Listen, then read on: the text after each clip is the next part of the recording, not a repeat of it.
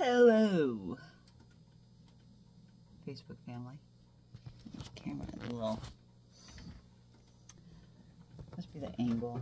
Anyways, I uh, just wanted to say good morning. Happy Sunday. I am uh, actively doing some stuff to make the environment better. I shouldn't have uh, purchased anything that had these stupid rings anyways, but I uh, at least try to do my part when I do purchase these stupid things. Uh, wish I could just leave them at the store, really, honestly, and take them off. Uh, anyways, don't want any birds to get hurt by this, because speaking of birds, I accidentally hit and ran over a bird yesterday. It looked like a duck, but it had longer legs than a duck's, and it was brown, and so I don't think it was a goose. Even though I know geese can be brownish gray, it just it didn't look like a goose, and it didn't. It looked closer to a duck with the the shade of brown it was, uh, like longer neck and longer legs. I just don't know what kind of bird it was. I feel horrible.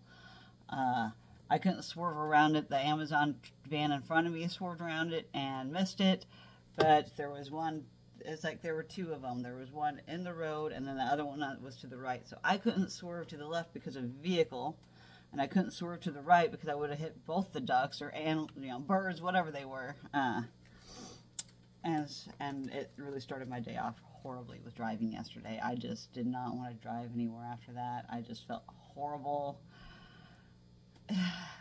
It's one thing to hurt an animal on purpose, but to you know, I, I couldn't do anything about it, and I still feel terrible. Uh, so I'm just trying to process my feelings over that. Just poor thing. I, I tried the best I could not to hit it with my wheel. I tried to center on it, so hopefully I could miss it. But I did I did feel a thump, and so I know I hit it. I uh, poor thing. I just don't know. Uh, if it would have come to the injuries, how, however bad it was. Uh, I tried to minimize it the best I could, and that's all I can do.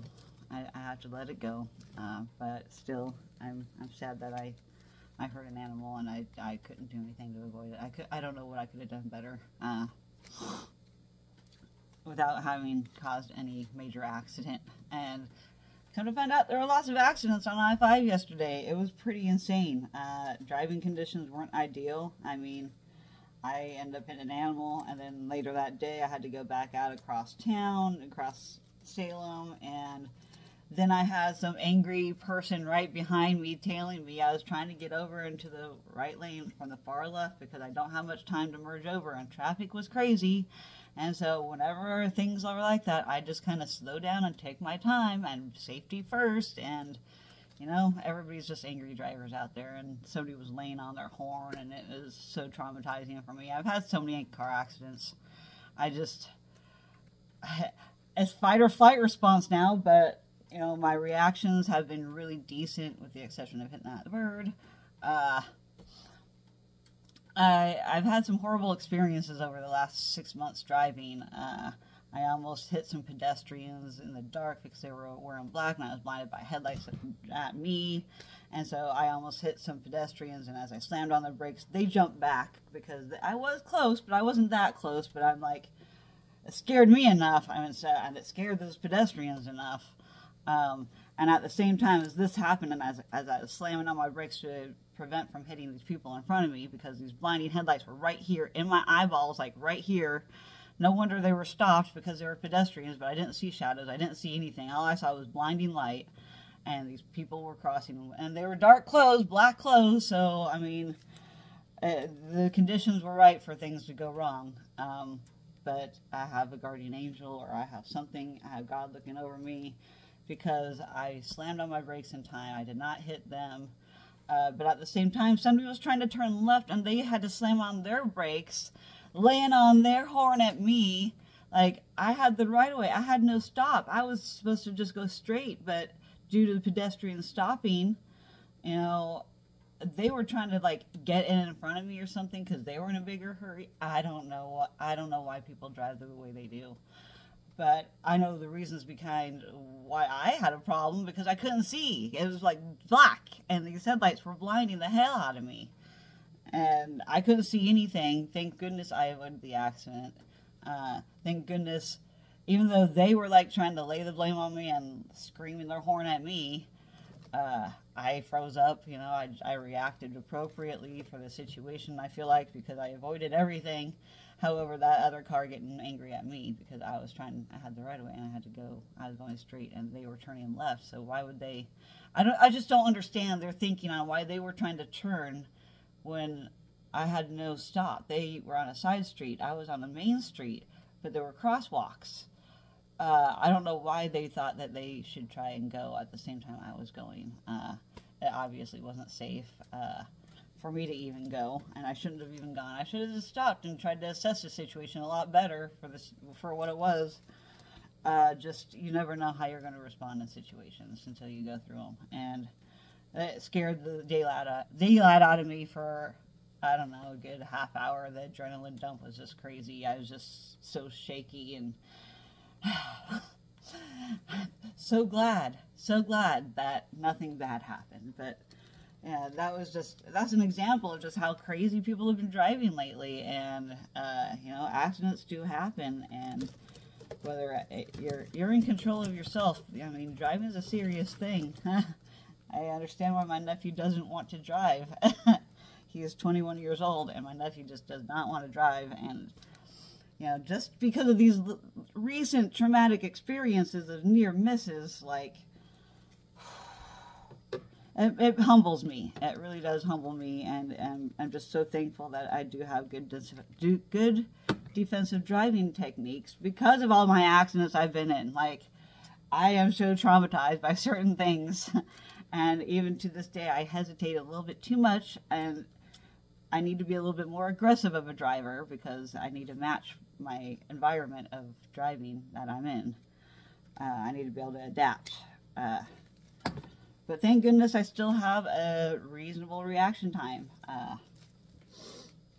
I've been in a lot of close calls lately, and with the you know with the accident yesterday and the weather, and just starting off bad with an animal, and then when I went to pick up my nephew, coming back full circle with this whole nephew thing, uh, yeah, I was I had that car riding their horn at me. Uh, and so it brought back my flood of emotions from all these recent experiences. And it just, I was so just not happy about driving anywhere yesterday. I, I, I like, these are signs, these are reasons why I need to stay home.